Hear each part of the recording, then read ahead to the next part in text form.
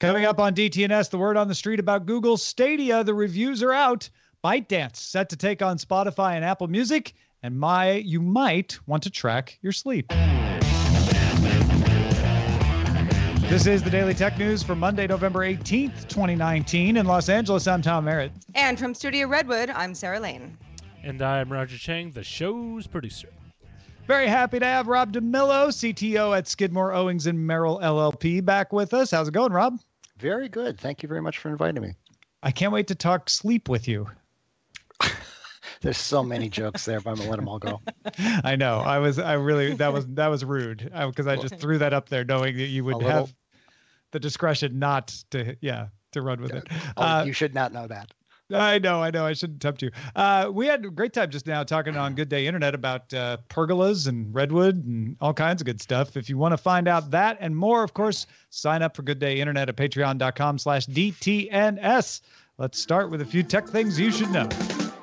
ZDNet reports that some Disney Plus accounts have already been stolen or are being offered for free or for sale on various forums. Some users have had their passwords changed, others didn't. ZDNet suspects that the users either reused passwords from other sites or had been infected with malware previously. Forums have been filled with account credentials for Netflix, Hulu, Prime Video, and others for years. However, the speed at which accounts have been stolen is unusually fast. Mm-hmm. Disney Plus showing how valuable it is by how fast they kinda, yeah. yeah, yeah. Uh, the messaging app Line and Yahoo Japan have jointly announced a basic agreement on a merger, aiming to finalize the agreement in, in December. The owners of the two companies, SoftBank and Naver, will form a joint holding company with a mutual 50% investment. Yahoo Japan and Line will become subsidiaries uh, and investing 340 billion yen to take Line private. As part of the merger, the two companies plan to integrate their business by October 2020, after which it's expected to be Japan's largest internet company by revenue. Zazu Africa Limited announced a partnership with MasterCard to issue prepaid cards l- linked to the Zazu Payments app. Zazu lets uh, users in Zambia, Z- Zambia rather, send, receive, and pay and save money without needing a bank account. This is a trend. We've been seeing a lot of this. Zazu users will be able to get a contactless physical card as well as a virtual card in the Zazu app. All right, let's talk a little more about the fate of John Legere. Oh, hmm. let's. T Mobile announced that the current COO, Mike Sievert, will succeed John Legere as CEO as of May 1st, 2020. Legere had been expected to step down after the completion of the Sprint T Mobile merger. Legere was also named CEO back in 2012. He's been there for a while. The Wall Street Journal and CNBC reported that WeWork, which is also a SoftBank investment like Sprint, had talked to Legere about taking over as CEO at that company according to sources. But Legere said on a conference call Monday, quote, I was never having discussions with to run WeWork. Legere hasn't given an indication of what he plans to do after stepping down as CEO. Meanwhile, Boost Mobile founder Peter Adderton, I know it just keeps coming, told Reuters opera. that he's willing to pay up to $2 billion to build the prepay wireless brand back from Sprint to buy it, rather. T Mobile and Sprint uh, agreed to sell Sprint's prepaid mobile networks, including Boost, to Dish Network for $1.4 billion as a condition of that merger. Don't forget, the whole Sprint T Mobile merger is still facing a lawsuit from U.S. attorneys general. So the whole thing is rather in flux. As, as the mobile companies turn. Yeah. Yeah. No Seriously. Kidding. So it's probably so it sounds like Sprint and T-Mobile feel confident about the fact that they will be able to get past the attorney's general lawsuit and that they will then close their merger next year to the point that they just said, you know what, John's going to pick a date, May 1st. He'll be done as of May 1st. Uh, that also implies to me, Rob, and you tell me if I'm uh, overreading the tea leaves, that he does have something set up that he's going to go to. We just yeah. don't know what it is yet, right? There ain't no coincidences in this universe at yeah. all. Yeah, the, the the, the rumors of, of him like going to WeWork coincident with him leaving T-Mobile and his background being a turnaround artist just sounds like that's what's going to happen. Well, it all made too much sense until yeah. he said I was never having discussions to run WeWork. So that made me think, well, maybe we just maybe this we just Le- have it wrong. This is Legere you're talking about. Yeah, that's true. Yeah, he'll, he'll say stuff like that. I was never having discussions to run WeWork. I was having discussions about being CEO of WeWork. Or or I just decided and I didn't discuss it with them. Yes. Now Yeah. I am. Now I And- am. Meanwhile, because of the attorneys general, they haven't closed as fast as possible, so they missed a November 1st deadline. So technically, the merger is in renegotiation, either even though both parties are still totally fine with it. But because it's in renegotiation, Peter Adderton can then step up and go like, "Hey, I got two billion dollars. I think I want Boost Mobile back after all," uh, Uh-huh. which is not an easy transaction because Dish agreed to get Boost and Virgin and some Spectrum. So even if Sprint were to say, okay, we'll give Boost back to Adderton because he's giving us more money, it could sink the rest of that deal with Dish because Dish may say, well, it's not worth it if we don't get Boost. I forgot all about Dish. Did anyone know anything about Sievert? Not much. I- No. I, don't. I don't know a thing about him. I mean, COO been there for a while, uh, Mhm. but but yeah, but, but largely kind of uh, behind the scenes uh, character. So Yeah, I bet he doesn't curse in his tweets. That's all I, that would be sad. I know. I I'll would miss make that. me sad. I, I, I can't I- wait to read those new WeWork tweets. well, it's sort I of wa- you know, it's sort of like Tim Cook and Steve Jobs. You know, you can't you can't you can't act like the the guy that everybody knew and loved, right? Uh, yeah, I guess. Perhaps didn't love. Or Yeah, you- that's fair. so You know, so you gotta do like- your own thing. it's going to so be a new like- era. You act, yeah. you act like the uh, cranky old uncle. Then is that the deal? maybe, maybe. We'll see. We'll see what role Sievert wants to fill. Uh, meanwhile, uh, Roger just uh, uh, slacked me that Apple has announced a press event for December 2nd at 4 p.m. Eastern because they hate us and want to have a press event in the middle of our broadcast day here at Rude. DTNS. Yeah. Uh, 4 p.m. Eastern, December 2nd in New York City, focused on honoring our favorite apps and games of 2019. So, may not be like a product announcement thing, uh, may not even be all that much, but uh, interesting and nonetheless, right? I'll be in New York on December second, so we can go. Tell them to just hold off for thirty minutes. Well, maybe they can honor you. Have you? Do you have an app or a game? No. No. All right. Uh, the reviews for Google Stadia are out uh, one day before it launches for founders on Tuesday, November 19th. And the consensus is works better than expected, but still not quite good enough. Uh, there's some noticeable lag, which is not a problem in slow paced games, but may or may not cause issues on shooters, just depending on how sensitive you are to it. Uh, Ars Technica's Kyle Orland said it worked fine on Ethernet for him, but was inconsistent to the point of aggravation on wi- on his Wi-Fi anyway. Uh, most said it kind of feels like a beta. The Verge's Sean Hollister said it felt more reliable than similar services he's tested, but does not compare to a high-end console or PC. And Engadget's Jessica Condit said, "I wouldn't play any of these titles competitively on Stadia, but the service is fine enough for a relaxing evening." Uh, if you don't remember, Google Stadia has now upped it. They added some games, so they're going to have 22 games at launch for $130 plus $10 a month plus 20 to $60 per game.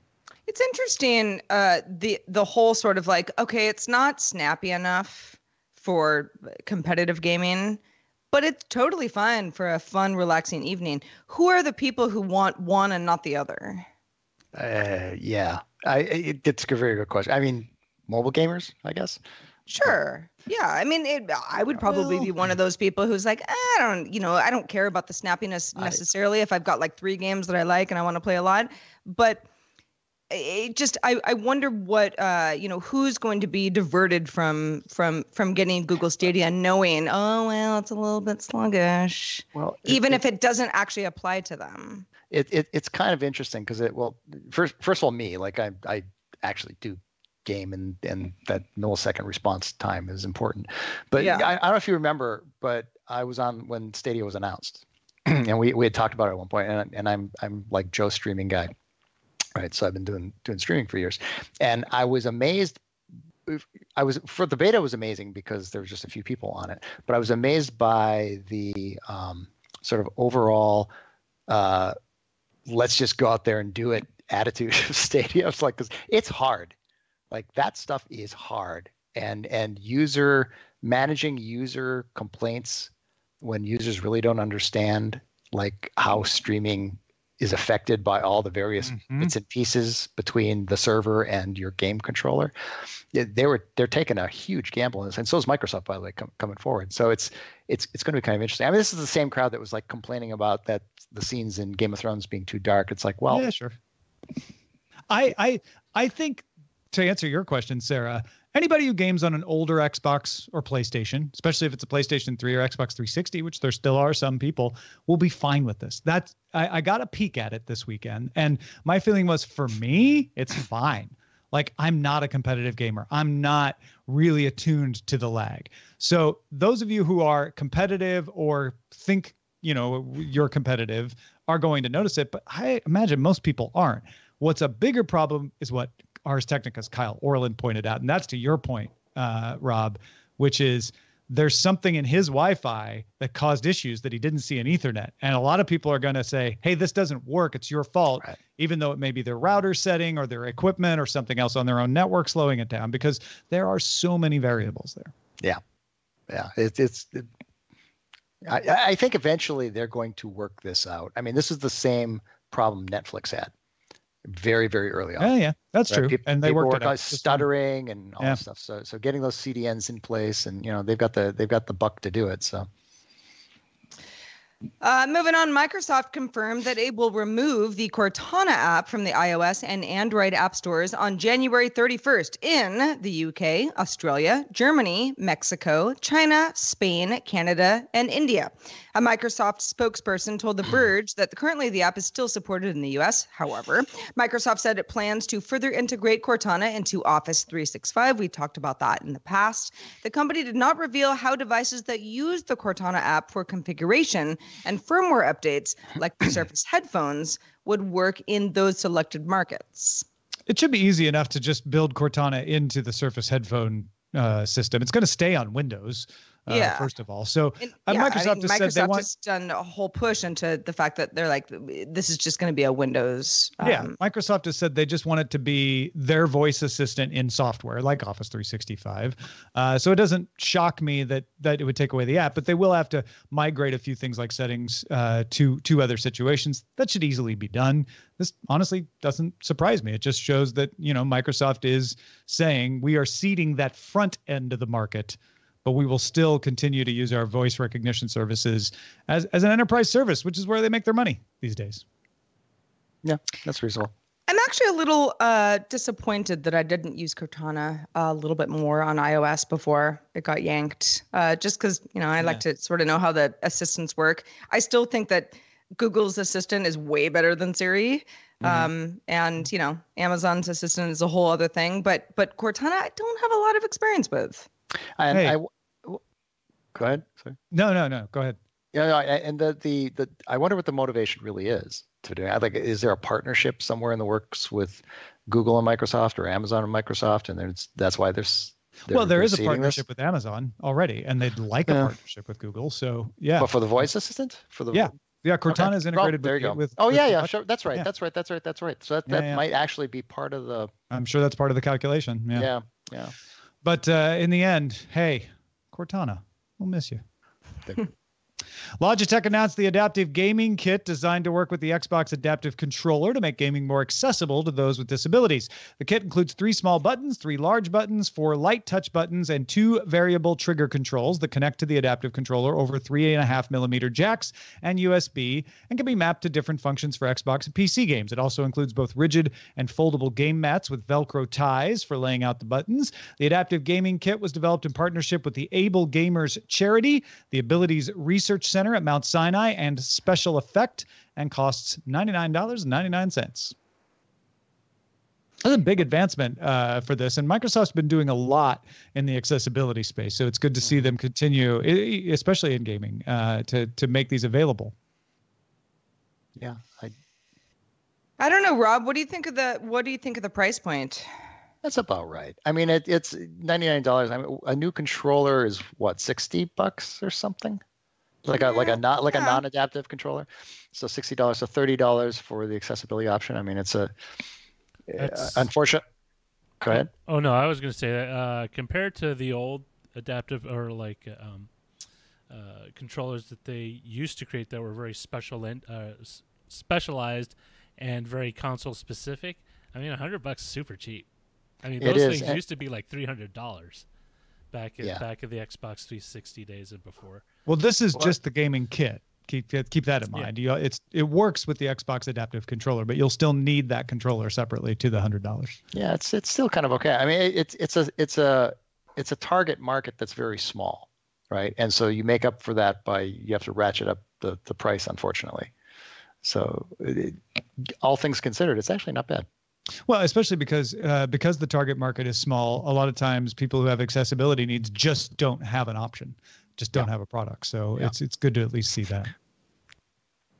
The Financial Times reports that ByteDance, perhaps you've heard of it, is in talks with Warner Music, Universal Music, and Sony Music to secure move, uh, music streaming rights and plans to launch a music streaming service as early as next month. This is according to sources.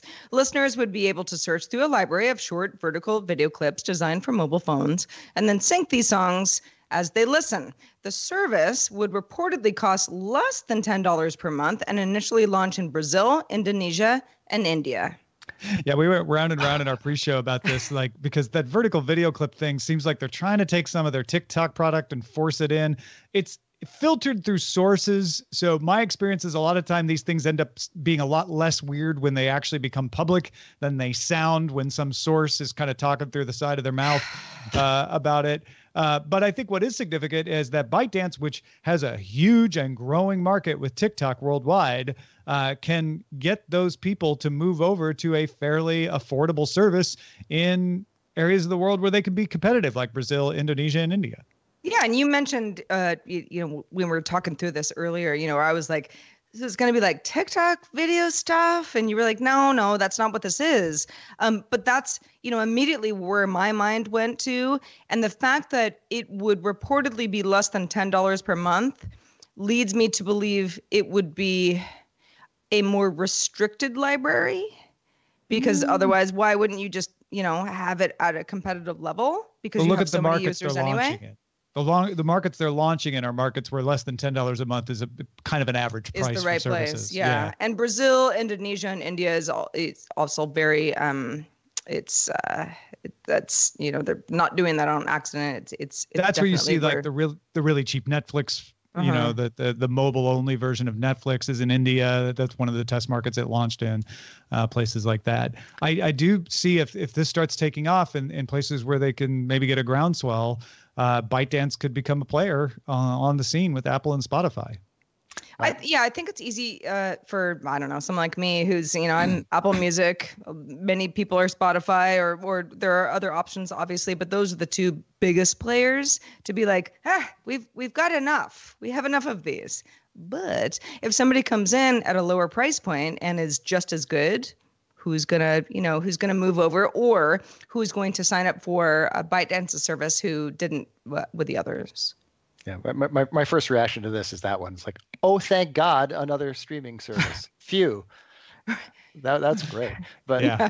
but but then yeah, I woke up this morning and, and one of my VC channels that I, I subscribe to is chattering away with um, they think this is directly putting Spotify in the crosshairs. Mhm. Like it, it's a deliberate attempt to try and bring Spotify's market share down. Yeah, but uh, I could see that, especially because Spotify is stronger in in areas of the world that Apple Music hasn't really caught on in. So, yeah. Yep. Well, folks, if you want to get all the tech headlines each day in about five minutes, be sure to subscribe to dailytechheadlines.com. Sleep trackers, a lot of them exist. Uh, they exist in a lot of different ways. There's standalone devices, standalone devices that do particular things, uh, obviously part of your general wearable watch or fitness tracker.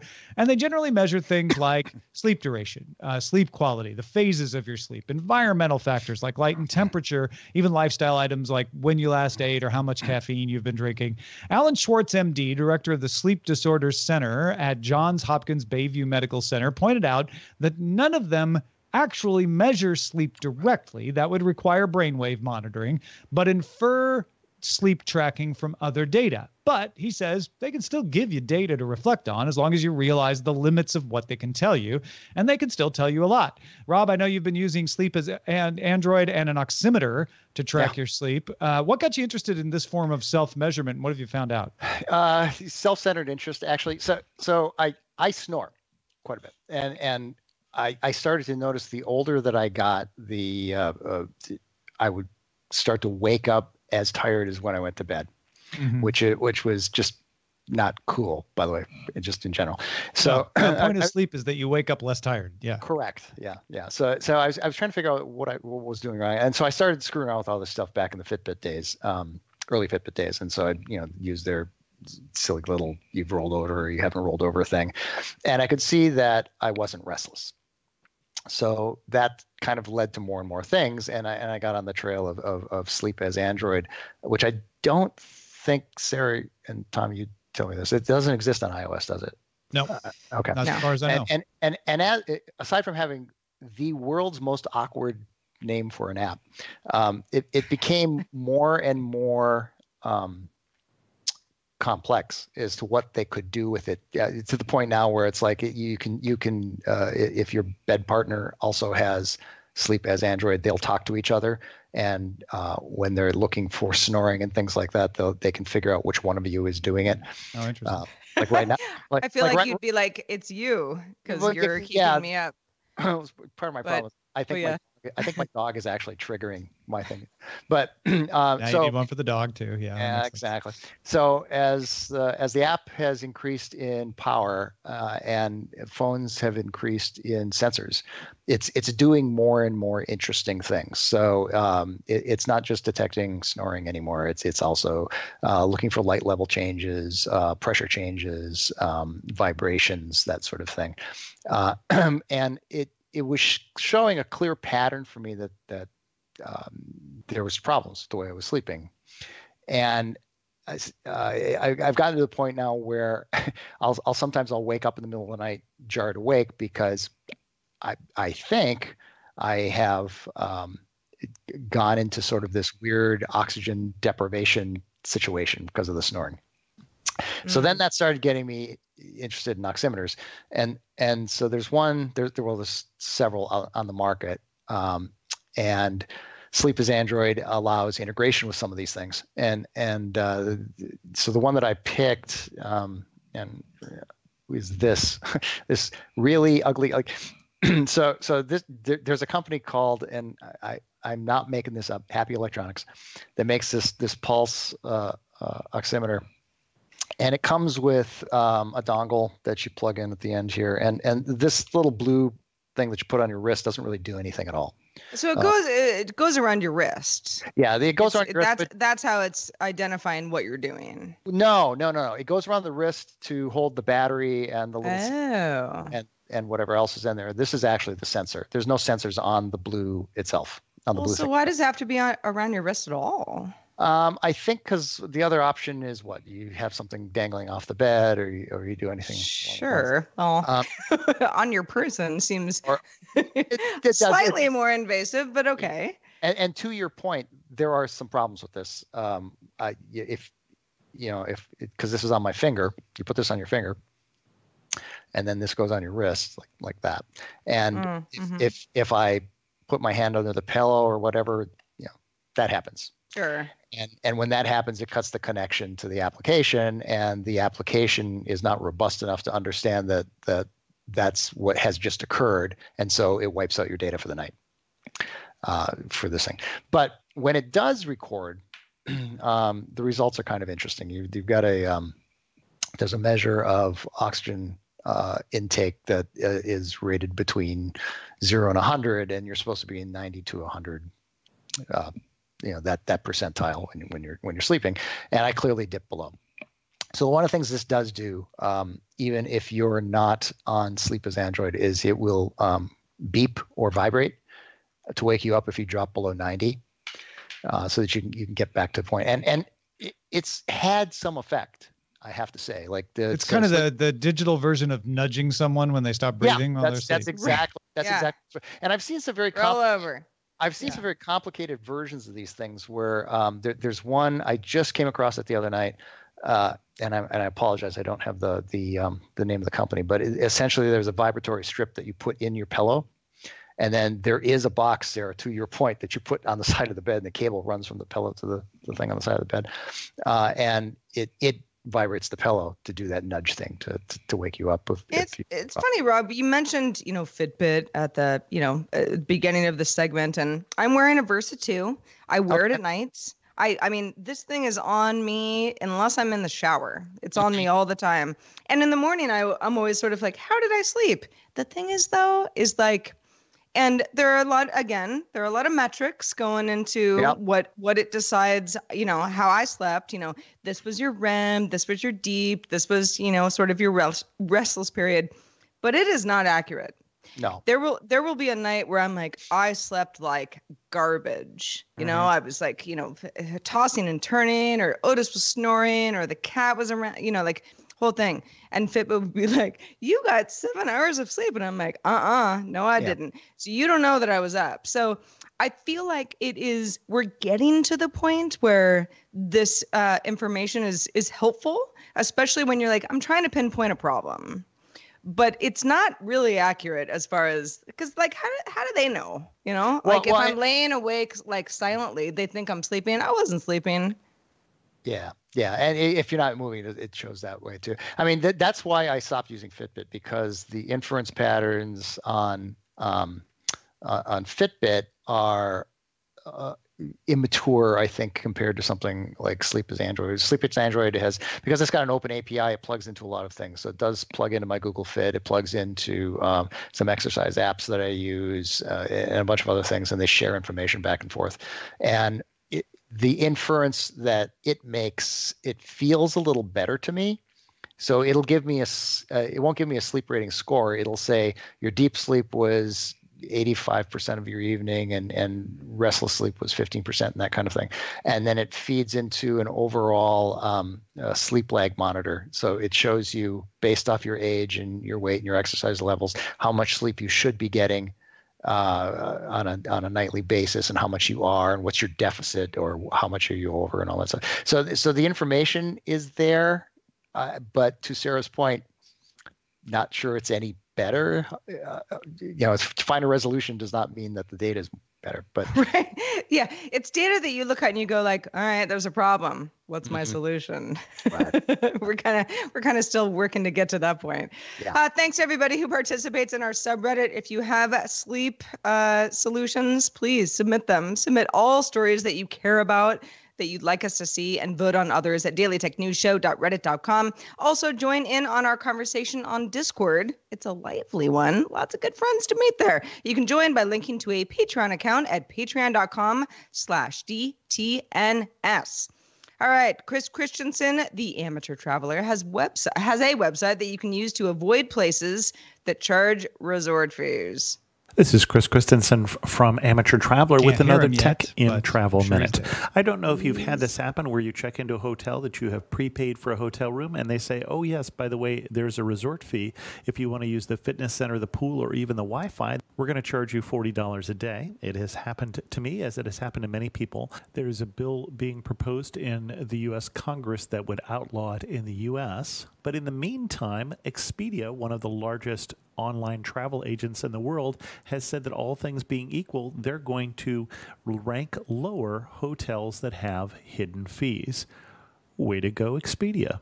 I'm Chris Christensen from Amateur Traveler. I apologize for interrupting you, Chris, but that's good information. It definitely is. Uh, shout out to our patrons at our master and our grandmaster levels, including James P. Callison, Wandy Hernandez, and Jonathan Price. Also, extra special thanks to Rob DeMillo for being with us today. Rob, it's been too long. It so nice to have long. you on the show. Uh, let oh. folks know where they can keep up with, with with the rest of your work. You keep up with me. I mean, if you look at my uh, about me page, about me, Rob DeMillo, you'll see all my stuff. Uh, where to get my Twitter and my Instagram and and where I'm working now and what happened to my previous job and all that good stuff. Well, thank you, Rob. And uh, thank you, everyone, for interest in our upcoming listener co host episode that we'll be recording for the holiday break. Uh, we got so many good submissions.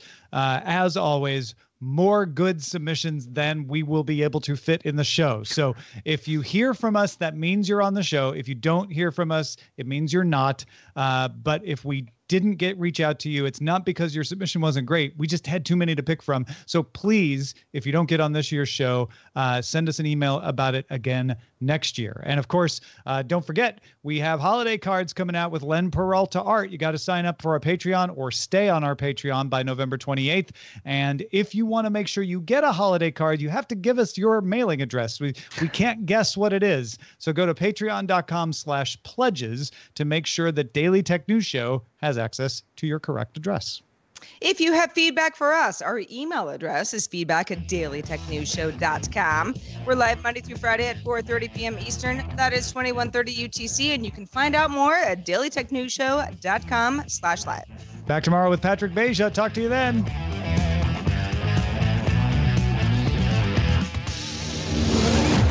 This show is part of the Frog Pants Network. Get more at frogpants.com. Diamond Club hopes you have enjoyed this program.